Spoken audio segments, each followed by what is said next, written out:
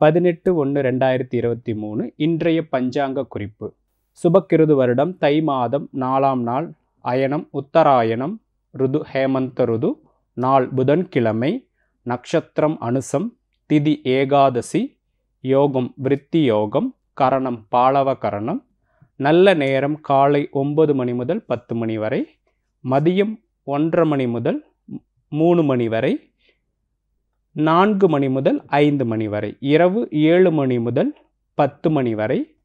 பதினோரு மணி முதல் பன்னெண்டு மணி வரை நல்ல நேரங்கள். இதில் சூரிய உதய நாளிகை முக்கால் மணி நேரம் நாற்பத்தஞ்சு நிமிடம் சேர்த்து கொள்ளவும். மீனத் இன்றைய கிரக நிலை. மீனத்தில் குரு மேஷத்தில் ராகு ரிஷபத்தில் செவ்வாய் துலாமில் கேது விருச்சகத்தில் சந்திரன் தனுசில் புதன் வக்கரம் மகரத்தில் சுக்கிரன் சூரியன் கும்பத்தில் சனி. இன்றைய நாளிலிருந்து சனி தன்னுடைய மகர வீட்டிலிருந்து கும்ப வீட்டுக்கு வந்துவிட்டார். அனைத்து ஜீவராசிகளும் இந்த பிரபஞ்சத்தில் நால்வகை தோற்றமும் ஏழு வகை பிறப்பாக எண்பத்தி நான்கு நூறாயிரம் யோனி பேதங்களாக பிறக்கின்றன. அதில் அண்டசம் சுவே சுவேதசம் உற்பிசம் சராயுதம் என்று நான்வகை பிறப்புகள் இதில் இருக்கின்றது. இதில் அண்டசம் என்பது முட்டையிலிருந்து பிறக்கக்கூடியது சுவேதசம் என்பது வேர்வையிலிருந்து பிறக்கக்கூடியது உற்பிசம் என்பது வித்து வேர் கிழங்கு வகையிலிருந்து சராயுசம் என்பது கருமுட்டையிலிருந்து. நாம் எல்லாரும் சராயுசம் வகையை சார்ந்தவர்கள். இதில் அந்த ஏழு பிறப்புகள் என்னென்னு பார்த்தீங்கன்னா தாவரங்கள் நீர்வாழ்வன ஊர்வன பரப்பன மிருக விலங்கினங்கள் மனிதர்கள் தேவர்கள் என ஏழு வகை பிறப்புகள் இருக்குது. இந்த ஏழு வகை பிறப்பில் மனிதர்களுக்கு ஏழு முறை வந்து திரும்ப திரும்ப மனித பிறவிகளாக பிறப்பதற்கான சந்தர்ப்பம் இயற்கையாகவே அமைகிறது அமைஞ்சிரும். அந்த ஏழு பிறவியில் ஏதாவது ஒரு முறை ரிஷிகள் சொல்கிறாங்க அந்த ஏழு பிறவிகளை ஏதாவது ஒரு பிறவியிலையாவது நாம் இந்த ஞானத்தை பெற்று காலத்தை பற்றியும் இந்த பிரபஞ்ச பற்றியும் ரகசியங்கள் எல்லாம் தெரிந்து கொண்டு பிறவா நிலை என்று சொல்லக்கூடிய நிலையை நாம் பெற வேண்டும். அந்த மாதிரி நம்ம செய்யாமல் முயற்சி விட்டோம்னா மீண்டும் நம்ம வந்து மனித நிலையிலிருந்து கீழ் நோக்கி பெற செல்வதற்கான நிறைய வாய்ப்பு இருக்குதுன்னு நம்ம ரிஷிகள் எல்லாரும் சொல்கிறாங்க நாம் வாழ்கிற இந்த பூமியில் அனைத்திற்கும் ஆதாரம் சூரியன். அந்த சூரியன் சுற்றி வரும் சுற்றுப்பாதையை நாம் ராசி மண்டலங்களாக தொகுத்திருக்கிறோம். முந்நூற்றறுபது டிகிரி வட்டம் உங்களுக்கு தெரியும். ஒவ்வொரு டிகிரியும் முப்பது பாகையாக பன்னெண்டு ராசிகளாக தொகுத்து பன்னெண்டு ராசிகளாக நாம் சூரியன் வர பாதையை தொகுத்து கொடுத்திருக்கிறோம். சூரியன் சித்திரை மாதத்தில் வருவதை முதல் மா முதல் ராசியாக மேசம் என்றும் வைகாசி மாதத்தில் வருவதை ரிஷபம் வைகாசியில் வரக்கூடிய ரிஷபம் என்றும் இந்த மாதிரி பன்னெண்டு ராசிகளுக்கும் சூரியனுடைய பாதையை மையமாக கொண்டே ராசி மண்டலங்கள் அமைக்கப்பட்டிருக்கிறது. இதில் பன்னெண்டு ராசிகள் என்னன்னு உங்களுக்கு தெரியும். மேஷம் ரிஷபம் மிதுனம் கடகம் சிம்மம் கன்னி துலாம் விருச்சகம் தனுசு மகரம் கும்பம் மீனம். இந்த பன்னெண்டு ராசிகள் வழியாக தான் ஒரு வருடம் முந்நூற்றறுபத்தஞ்சு நாட்கள் சூரிய பகவான் தன்னுடைய சுற்றுப்பாதையை முடிக்கின்றார். இன்றைக்கி ஒரு ஜோதிட தகவல் நம்ம பார்க்கக்கூடிய விஷயம் என்னென்னு பார்த்தீங்கன்னா நல்ல நேரம் தான் நம்ம எல்லாருமே ஃபஸ்ட்டு விஷயம் பார்க்கக்கூடிய காலண்டரில் தேதியில் பார்க்கக்கூடிய இன்றைக்கி என்ன நல்ல நேரம் அப்படின்னு சொல்லிட்டு தான் பார்ப்போம். எந்த ஒரு சுப காரியம் தொடங்குறதா இருந்தாலும் நாம் பார்க்கக்கூடிய விஷயம் வந்து நல்ல நேரம். அப்படி நம்ம பார்க்குற நல்ல நேரம் உண்மையிலே நல்ல நேரமாக தான் இருக்குதா அப்படிங்கிறது நீங்கள் யோசிக்கணும். ஏன்னா எல்லா நல்ல நேரங்களுமே உதாரணத்துக்கு வெள்ளிக்கிழமை காலை ஆறு டு ஒம்பது நல்ல நேரம் கொடுத்துருக்குறாங்கன்னா அந்த நேரம் கொடுக்கப்பட்டது கணிக்கப்பட்டது எல்லாமே சூரிய உதயம் ஆறு மணி என்பதை பொதுவாக கொண்டு கணிக்கப்பட்ட நேரமாகும். ஆறு மணிக்கு எப்போ சூரியன் உதயமாவார்? சித்திரை மாதத்தில் உதயமாவார். இப்போ ஐப்பசி மாதமோ கார்த்திகை தை மாதம்னா சூரியன் எப்போ உதயமாவார்னு பார்த்தீங்கன்னா ஆறரை மணிலேருந்து ஆறே முக்கால் வரைக்கும் கூட ஆகிடும் அப்போ கிட்டத்தட்ட அரை மணி நேரத்துலேருந்து முக்கால் மணி நேரம் தள்ளி சூரிய உதயம் ஆகிறாரு. அப்போ நீங்கள் ஆறு மணிக்கு நல்ல நேரம் ஸ்டார்ட் ஆகுதுன்னா ஆறு மணி கிடையாது. அந்த முக்கால் மணி நேரம் தள்ளி போகிறதுனால ஆறே முக்காக தான். அப்போ ஆறு டு ஒம்போதுனா ஆறே முக்கா டு ஒம்பதே முக்கா தான்.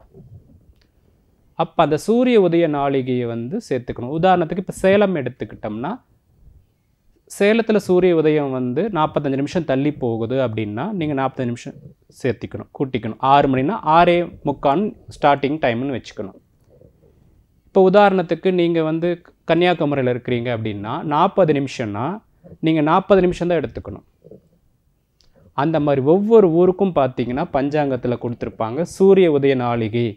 இந்த தேதியிலேருந்து இந்த தேதிக்குள்ளே இந்த நிமிஷத்தில் உதயமாகும் அஸ்தமனமாகும்னு கொடுத்துருப்பாங்க. அதை நாம் கணக்கில் வச்சுக்கிட்டு தான் அந்த விஷயத்த செய்யணும். ஏன்னா இப்போ வெள்ளிக்கிழமை சில பார்த்தீங்கன்னா அரை மணி நேரம் தான் நல்ல நேரம் இருக்கும் மதியான டைமில் அந்த நேரத்தில் இப்போ நீங்கள் இந்த டைம் ஒரு குறிச்சிட்டு இப்போ ஒன்று டு ஒன்றரைன்னு வச்சுக்கோங்களேன் உதாரணத்துக்கு எக்ஸாம்பிள் அந்த ஒன்று டு ஒன்றரையில் இப்போ நீங்கள் கரெக்டாக ஒரு மணிக்கு ஸ்டார்ட் பண்ணி ஒன்றரை மணிக்கு முடிக்கிறீங்க. ஆனால் நல்ல நேரம் ஸ்டார்ட் ஆகிறது ஒன்றே முக்காக தான் ஸ்டார்ட் ஆகுது. ஸோ இப்போ நான் சொல்கிற இந்த விஷயத்தை நீங்கள் வந்து சிந்திச்சு பாருங்கள் இந்த மாதிரி ஜோதிடத்தை பற்றி ஒவ்வொரு தகவலையும் ஒவ்வொரு நாளில் இந்த நிகழ்ச்சியின் மூலிமா கற்றுக்கலாம் நீங்கள் அதே மாதிரி இன்றைக்கி நிறைய பேர் பார்த்தீங்கன்னா வாஸ்துவில் பற்றி கேட்குற விஷயங்கள் என்னென்னு பார்த்தீங்கன்னா ஒரு சின்னதாக இடம் வச்சுருக்கிறாங்க. கிட்டத்தட்ட ஒரு ஏழ்நூறு எட்நூறு சைடு தான் இருக்குது. அதுக்குள்ளேயே பார்த்தீங்கன்னா ரெண்டு பெட்ரூமு ஒரு கிச்சனு ஒரு ஹால் கேட்டு போர்ட்டிக்கோ விட்டு செப்டிக் டேங்க் விட்டு இத்தனை விஷயம் பண்ணணும்னு சொல்கிறாங்க அந்த மாதிரி செய்யும்போது அவங்க அந்த போர்ட்டிக்கோவோ வண்டி நிறுத்தத்துக்கெலாம் பார்க்கும்போது ஏதாவது ஒரு பகுதியை வந்து கட்டாயி போயிடுது உதாரணத்துக்கு கிழக்கு பார்த்த வீடாக தான் இருக்கும். ஆனால் மெயின் டோர் வந்து ஈசானியத்தில் முன்னால் வைக்கிறது பதிலாக பின்னால் தள்ளி வச்சுருப்பாங்க. ஸோ எல்லா விஷயம் பர்ஃபெக்டாக தான் பண்ணியிருக்கிறாங்க ஆனால் எனக்கு வாஸ்துக்கான பலன் இல்லைன்னா மெயினான டோர் விஷயமே அவங்க தப்பாக வச்சுருப்பாங்க. இதெல்லாம் வந்து இப்போ இருக்கிற காலத்துக்கு தகுந்த மாதிரி நடந்துட்டுருக்கிற விஷயங்கள்.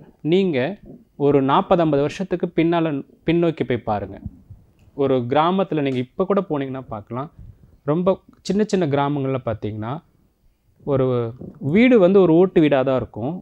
ஆனால் அந்த ஃப்ளாட் பார்த்தீங்கன்னா கிட்டத்தட்ட ஒரு மூவாயிரம் சதுரடி நாலாயிரம் சதுரடி இருக்கும். ஒரு ஐநூறு சதுரடி தான் வீடு கட்டியிருப்பாங்க. அங்கே என்ன அதிகபட்சமாக இருக்கும்? கிச்சன் இருக்கும் ஒரு ஹால் இருக்கும். அதிகபட்சமாக வெளியில் வந்து குளிக்கிறதுக்கு ஒரு இடமா இருக்கும். அவ்வளோதானே ஒழிய டாய்லெட் கூட பார்த்தீங்கன்னா ஒரு முப்பது நாற்பது வருஷம் வெளியில் தான் போயிட்டு இருந்தாங்க. ஒரு சிலர் வந்து அந்த வெளியில் வீட்டுக்கு வெளிப்பகுதியில் தான் டாய்லெட் கூட கட்டியிருப்பாங்க. செப்டிக் டேங்க் வீட்டுக்குள்ளே எதுவுமே வராது. அதனால பார்த்தீங்கன்னா அப்போ இருந்தவங்களோட ஆரோக்கியம் எப்படி இருந்ததுன்னு நீங்கள் யோசிச்சு பாருங்கள் பொருளாதார இது தான் கொஞ்சம் கம்மியாக இருந்திருந்தா கூட ஆனால் ஹெல்த் விஷயமாக யோசிச்சு பாருங்கள் எப்படி இருந்தாங்க? இன்றைக்கி நம்ம வந்து ஒரு குறிப்பிட்ட ஒரு அப்பார்ட்மெண்ட் மாதிரி சின்ன சின்ன சின்னதாக ஒரு வீட்டில் நம்ம வாழ்ந்துட்டுருக்குறோம். நாம் சுவாசிக்கிறதுக்கு கூட ஒரு ப்ரீத்திங் ஸ்பேஸ் இல்லாமல் பக்கத்து பக்கத்தில் வீடு கட்டிடுறோம். அப்படிங்கும்போது சூரியனுடைய சக்தி எப்படி நம்ம வீட்டுக்குள்ளே வரும்? கிழக்கு பார்த்த வீட்டில் வந்து பொதுவாக ஒரு வீட்டில் இருக்கவங்க அடிக்கடி வந்து உடம்பு சரியில்லாமல் போகுது ஆரோக்கிய குறைபாடாக இருக்குது அப்படின்னு சொன்னால் ஒரு ஜோதிடர் போய் பார்க்கும்போது பொதுவாக அவர் சொல்லுவார் கிழக்கு பார்த்து போயிடுங்க அப்படிங்கிற ஒரு பொதுவான வார்த்தை. கிழக்கு பார்த்து போகும் வாசல் வச்சுருந்தா சூரியனோட சக்தி காலையில் ஆறு மணிலேருந்து எட்டு மணி வரைக்கும் பார்த்தீங்கன்னா வீட்டு வாசப்படியின் வழியாக உள்ள வரைக்கும் ஃபுல்லாக கம்ப்ளீட்டாக வந்துடும் அப்போ அந்த வீட்டுக்குள்ளே இருக்கக்கூடிய தேவையில்லாத ஏதாவது அணுக்களோ சுவாசமோ வேறு சில விஷயங்கள் ஏதாவது இருந்தாலும் அந்த சூரியனோட சக்தி எல்லாத்தையும் க்ளீன் பண்ணி வெளியே எடுத்துரும். ஸோ அந்த வீட்டை ஆட்டோமேட்டிக்காக சுத்தமாகிடும் ஆட்டோமேட்டிக்காக ப்ரா எனர்ஜிஸ் ஆகிடும் அந்த வீட்டில் இருந்து சுவாசிக்கிறவங்களும் ஆரோக்கியமாக தான் இருப்பாங்க. ஏன்னா அதுக்குள்ளே தான் அவங்க வசிக்கிறாங்க. ஆனால் இதுவே பார்த்தீங்கன்னா ஒரு மேற்கு பார்த்த வீட்டில் இருந்துச்சுன்னா உங்களுடைய சூரியனுடைய சக்தி எப்போ போகும்? சூரியன் அஸ்தமனம் ஆகும்போது தான் அந்த வீட்டுக்குள்ளேயே வரும். அப்போ அஸ்தமனம் ஆகும்போது பார்த்திங்கன்னா சூரியனுடைய சக்தி வந்து ஃபுல்லாக பாசிட்டிவாக இருக்காது. நெகட்டிவாக தான் இருக்கும். அதோடைய அதுக்கதிர்கள்லாம் நெகட்டிவாக தான் இருக்கும். ஸோ அப்போ அந்த வளர்ச்சி ஆரோக்கிய குறைபாடுங்கிறது இயற்கையாக இருக்கும். இந்த மாதிரி வாஸ்துங்கிறது நம்பிக்கை கிடையாது. இயற்கை சார்ந்த ஒரு வாழ்வியல் முறை தான் வாஸ்துவாகும். இதை நாம் எல்லாரும் புரிஞ்சுக்கிட்டு நம்ம வாழ்க்கையில் ஒவ்வொரு விஷயமும் அதில் இருக்க அர்த்தத்தை எடுத்துக்கிட்டு நம்ம வாழ்க்கையில் பயன்படுத்தி நம் வாழ்க்கையை வளப்படுத்திக்கணும்.